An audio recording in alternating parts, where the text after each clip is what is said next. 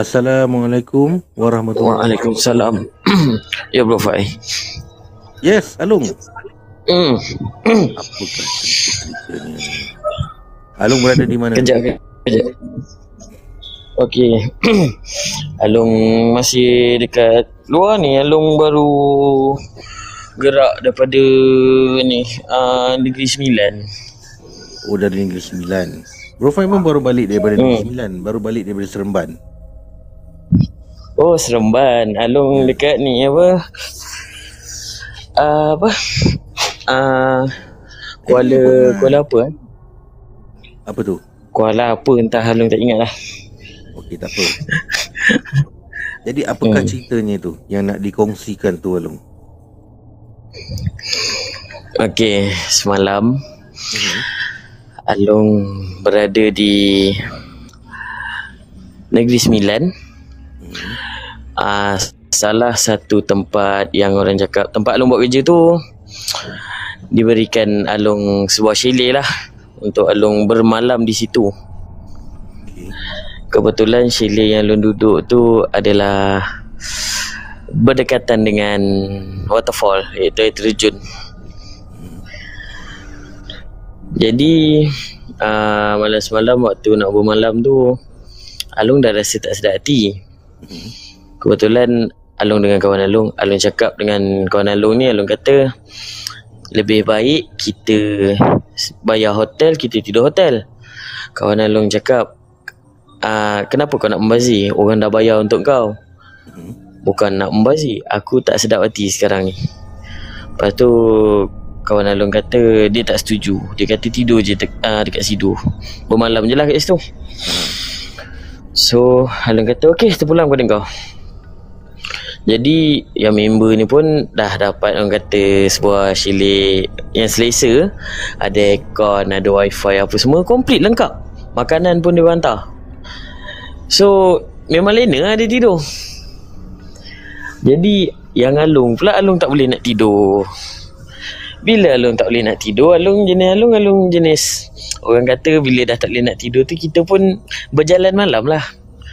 Sambil-sambil memantau kawasan dan juga uh, memerhatikan tempat and untuk tengok selamat ke tak selamat apa semua. So sambil-sambil Alung jalan tu Alung dapat tahu yang atas daripada Shili Alung tu ada sebuah resort. Resort tu masih berfungsi sehingga sekarang. Cuma jarang orang datang untuk sewa resort tu. Kebanyakan orang akan sewa Shili ni. Mhm. So Alung tak hiraukan Alung pergi kat resort tu. Pergi dekat resort tu Alung tengok resort tu cantik lawa Kemas bersih. So Alung masuk dalam resort tu. Masuk dalam resort tu Tiba-tiba Hati tu tergerak nak rekod. Oh, nak buat rekod lah. Nak buat rekod lah. Alung buat rekod lah. Alung Alung ingat Alung dah tekan rakam apa semua. Alung dah buat memang komplit Mana dengan flash Semua siap. Cakap okay Tengah-tengah rekod Tiba-tiba satu resort tu Lampu padam. Bukan lampu resort sahaja padam Dengan lampu flash handphone Alung semua padam. Alung macam eh apa hal ni kan? So Alung buat tak tahu. Jadi Alung teruskan. Alung ada buat torchlight Alung uh, pakai torchlight Tak boleh menyala. Alung kata Kalau kau nak kacau aku Lebih baik Tak payah. Sebab Aku tak nak Buat perkara yang Boleh memudaratkan kau. Jadi masa tu Alung memang dah rasa lain macam lah. Memang dah lain lah. Lepas tu Alung ambil lighter Just harapkan pada api lighter je. Bergantung pada api lighter. Jalan nak cari pintu keluar. Alung buka pintu resort tu. Yang Alung perasan Alung ingat uh, Pintu depan Alung masuk. Alung ingatkan Alung keluar dekat pintu depan. Okay tak apa. Alung keluar. Betul-betul penghujung uh, lantai orang kata orang panggil apa eh? Uh, bangsa, bangsa rumah tu, bangsal dia tu. Penghujung tu betul-betul bawah tu dah curam air terjun. Ya Allah. Alung cakap, eh, ini kalau aku tak perasan ni confirm aku terjun ke bawah. So Alung berundur balik, berundur balik Alung cakap, kau nak apa sehingga kan kau boleh tahan aku macam ni? Dia tak jawab tapi dia hentak uh, tingkap resort tu tiga kali. Kali ketiga tu dia hentak tingkap tu sampai pecah. Im. Alun cakap Ish Ini bukan biasa-biasa Okay tak apa Ha dia main kasar Ha. Alun cakap lebih baik kau lepaskan aku lah Sebab aku pun tak nak bermain dengan kau Hmm. Dan aku tahu kau siapa Aku tahu asal-usul kau Lepas tu adalah Alun baca-baca sikit. Alun mohon dengan Allah semua. Alhamdulillah terlepas keluar. Kebetulan Pagi tadi bangun. Okey tak ada apa masalah. Siap sarapan semua okey. Alung tak teringat Alung boleh terjun dekat air terjun tu. Oi. Alung tengah Alung tengah mandi-mandi Lepas tu Alung dengar macam suara Perempuan panggil tau. Dia panggil nama penuh kat tu Cuma tak ada bin. Alung macam Eh Siapa panggil aku? Sedangkan kawan aku tak panggil aku nama yang sebenar. Kawan aku panggil aku Alung juga. So Alung tak hidau kan Alung kata gila lantak kau lah. terima, terima kasih hadir. Alung kata lantak kau lah Aku tak kacau kau. Lepas tu Alung boleh dengar suara mak Alung sendiri. Allah Alung macam Akbar. terperanjat lah. Dah, dah orang kata tengah seronok Tiba-tiba macam kita dengar suara mak kita Kita je terperanjat Koh Betul?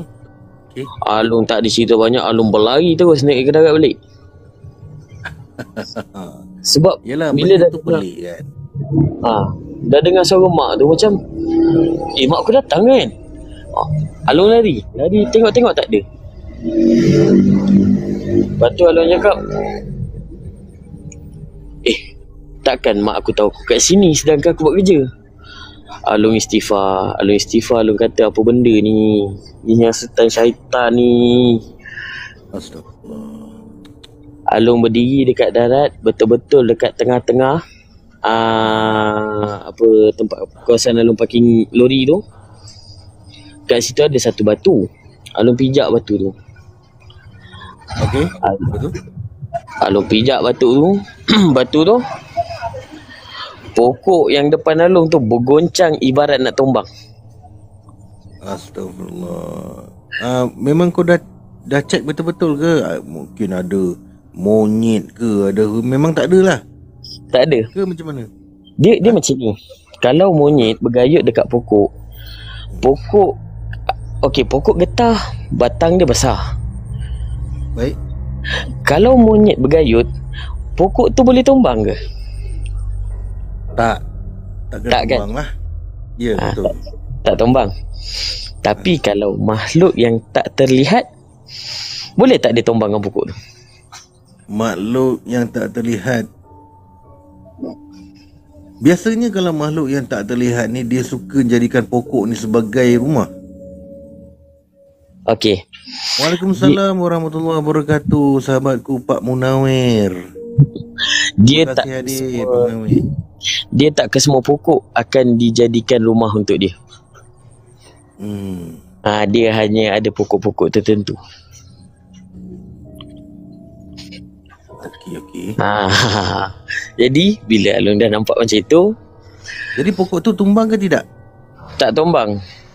Terima kasih Pak Munawir Cuma waktu pokok tu bergoyang, Alung nampak tanah tu pun beralun. Tu Alung cakap macam nak tumbang. Lepas tu bila Alung dah nampak macam tu, Alung gunakan kelebihan yang Alung ada dengan perubatan yang Alung belajar. Alung tepuk pokok tu sekali. Lepas Alung tepuk pokok tu,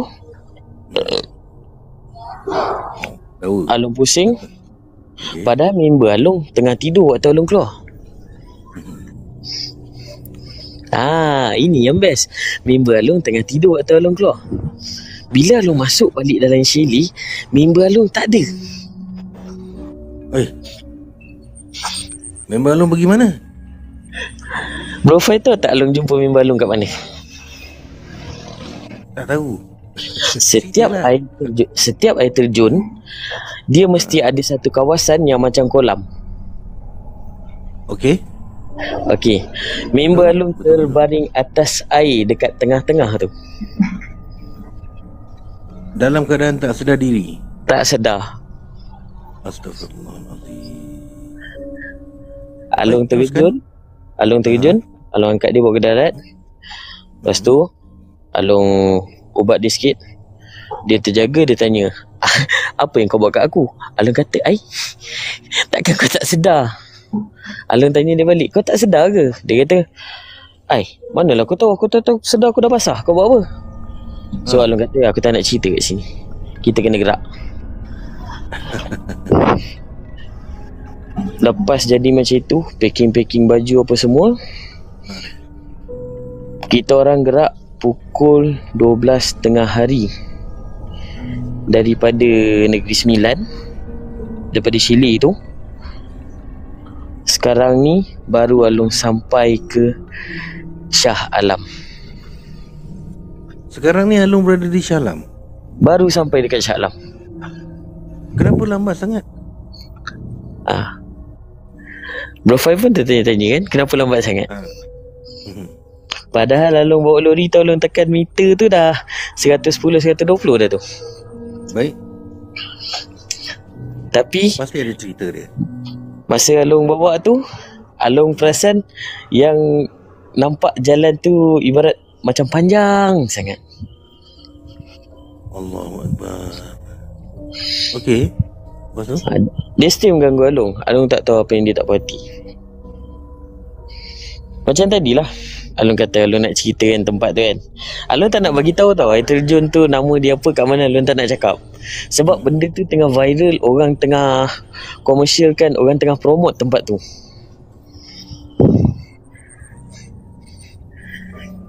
Kalau Alung cakap benda macam ni tu. Takkan ada orang percaya Orang akan cakap Alung karut Tempat tu memang popular lah.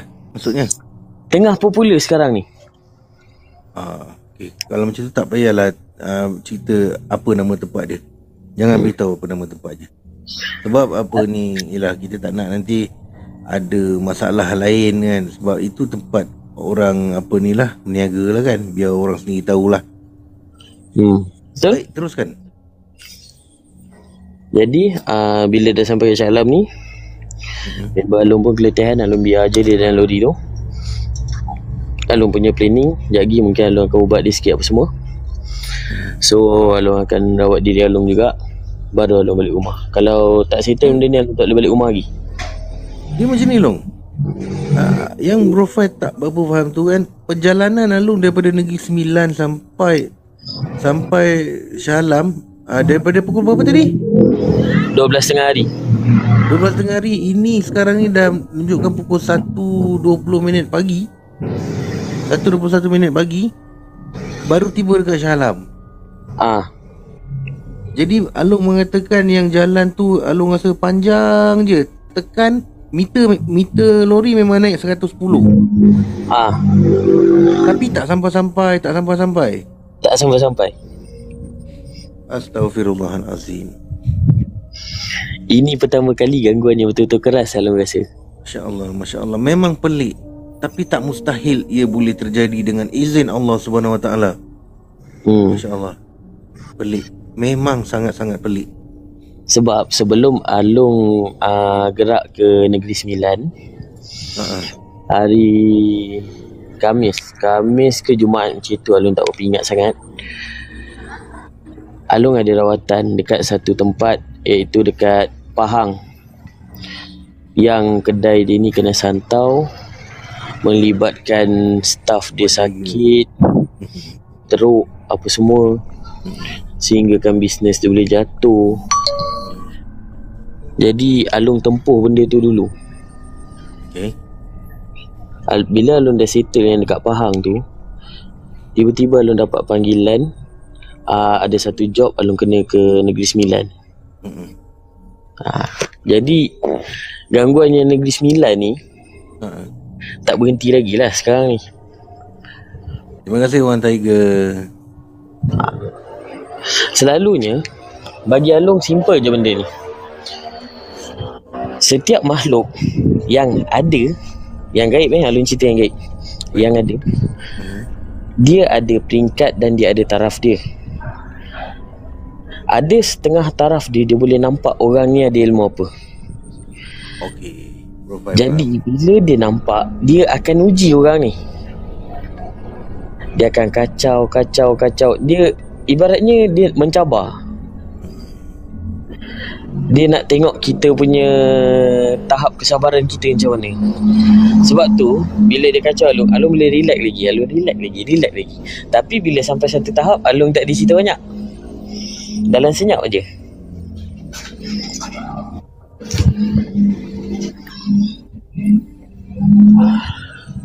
Ha, itu uh, pengalaman Alung lah sebab apa yang Alung kaji, apa yang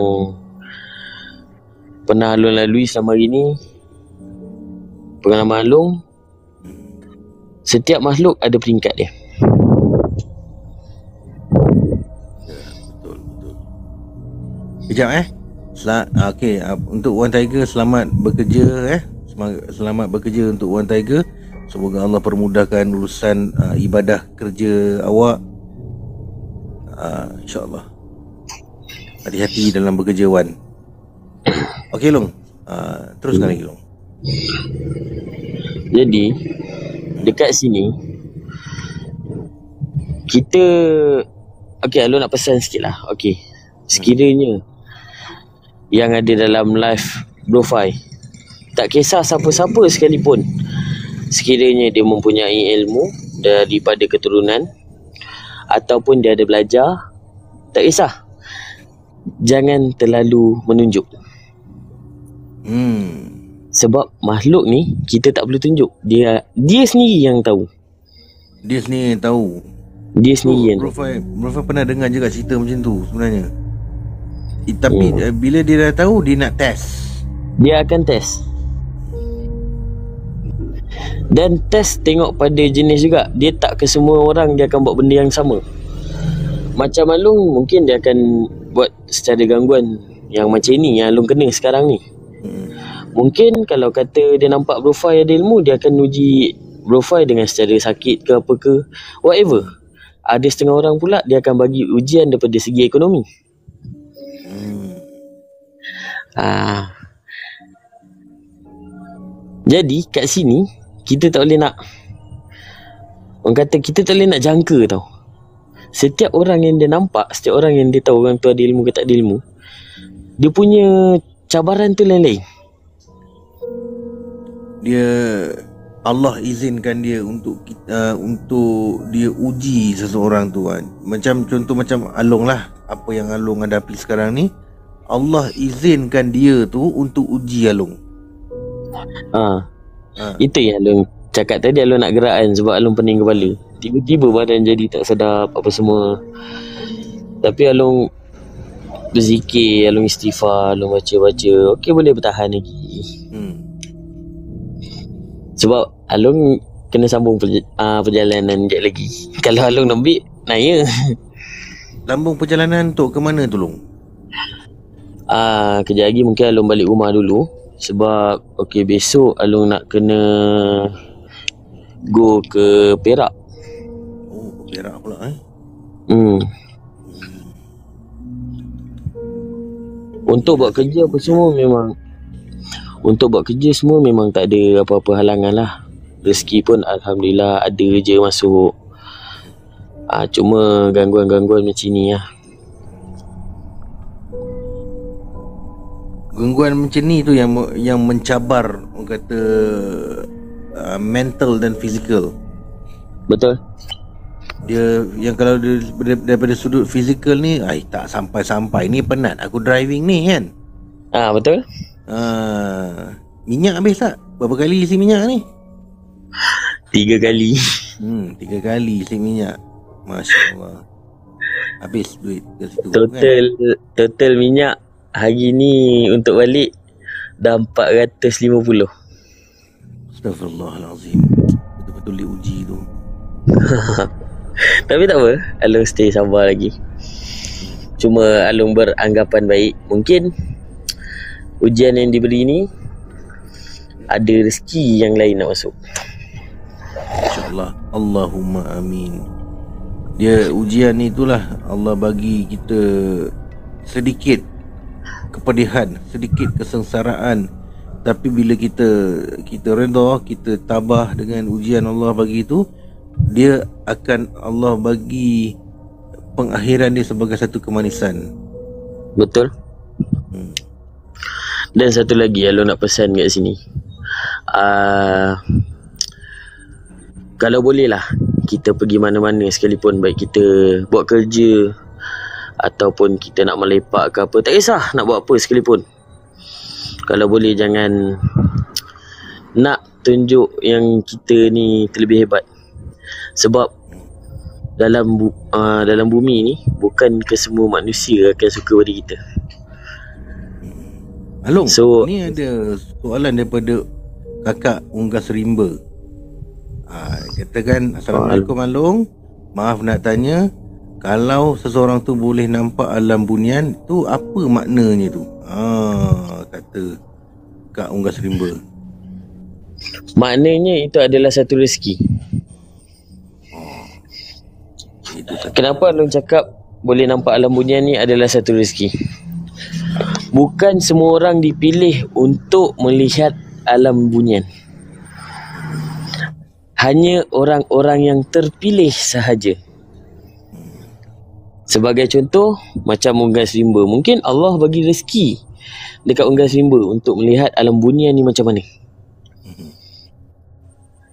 Mungkin dia tunjuk tentang kehidupan, mungkin dia tunjuk uh, tentang uh, bentuk rupa alam bunian tu ke. Uh, itu rezeki. Jangan takut. Tapi jangan terlalu berani. Bahaya juga. Lebih elok biar uh, orang kata biar stabil. Buat macam biasa. Tapi kalau ada belajar, ada ilmu, bolehlah masuk. Tapi pastikan dapat kunci untuk keluar nanti. Kalau tak ada belajar, tak ada apa-apa ilmu, Along cakap tak payah masuk. Sebab takut nanti tak dapat nak keluar. Hmm. Setiap pintu alam bunian untuk kita masuk dan juga untuk kita keluar mesti ada kunci dia. Dia ada surah-surah yang kita perlu baca. So itu kena berguru lah, kena belajar. Jadi kalau nampak tu syukur Alhamdulillah, itu memang rezeki. Okey, itu dia jawapan daripada Along uh, Kak Unggas Rimba.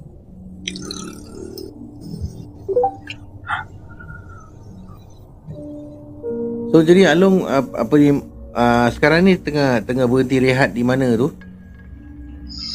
Ni Alung tengah rehat ada satu kedai makan yang kita tom yum. Dah makan Dah drive tadi dah haus sangat dah. Yalah. Dah settle lah ni lepas ni nak balik lah. Hmm, jagi balik kejap. Ah, rehat kejap. Lepas tu dalam pukul empat setengah ataupun pukul 5 pagi baru gerak balik lah. Ke Perak pula. Okey. Profile Hmm, tapi risau. ni? Ha.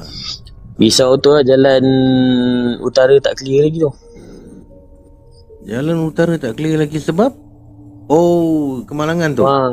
Ah, kemalangan tu. Rasanya dah clear kot. Rasanya dah clear. Hmm. Sebab Minta-minta dah clear. Jika berlaku perkara-perkara macam tu memang cepat-cepat dia kasi clear nanti akan menyebabkan kesesakan lalu lintas. Ha, itu yang kalau boleh memang dia orang akan cepat-cepat clearkan tu. Hmm. Semua rakyat Malaysia akan susah kalau kata benda tu lambat dikasih clear. Betul? Hmm. Lagipun kesian mangsa-mangsa semua. Kita apa ni lah kita kita doakan supaya mana yang mangsa-mangsa yang meninggal dunia ni kita kita doakan semoga uh, Allah tempatkan mereka di kalangan hamba-hamba yang beriman eh yang yang beragama Islam ni ya. Hmm. Okey Long, uh, Bro Fai sarankan lebih baik engkau cepat balik ya. Uh, supaya sebab lagi satu pukul 4 pun Along nak keluar kan? Hmm. Uh, nak keluar dah. Lepas tu uh, hati-hati okay, dalam perjalanan. Uh, apa nanti kalau boleh ubatkan kawan uh, yang apa yang teman tu ubatkan dia sekejap. Lepas tu Along apa ni lah perlu berehat. Uh, dan dalam perjalanan sebelum memulakan perjalanan jangan lupa ya Al-Fatihah ayatul kursi 3 kul Hmm, InsyaAllah. lepas tu uh, surah Yasin ayat 9 jangan lupa Hmm. Tapi, uh. Kawan tu memang Alung kena ubatkan juga. Walau macam mana pun. hmm, Tak boleh biar tu. ya Baik, Along ni lah Hmm. Cuma itulah macam Alung cakap tadi lah. Pergi mana-mana pun kita buat cara kita. Jangan terlalu sombong sangat sebab walaupun zaman semakin berubah, semakin canggih, kalau orang tak berkenan dengan sikap kita, betul tak dapat cara kasar, cara halus dia akan main. betul Profes setuju Profes setuju dengan Along Apa-apa pun kita nak buat sekalipun semuanya bergantung pada Allah sebab hidup dan mati kita pun ketentuan dia. betul sangat-sangat betul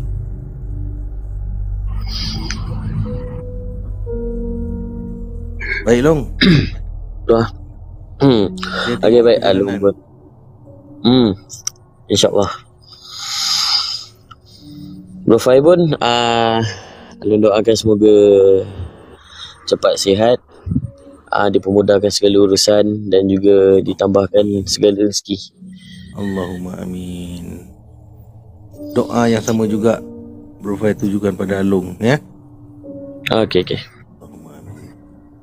Okey Long Kita jumpa Okey. lagi Long Apa-apa nanti boleh DM Boleh boleh Ah, DM Ah nanti Alung PM pasal yang Alung komen tadi tu. Sebab tak semua komen Alung akan diterima secara live lah nanti. Betul betul Tak apa Hmm.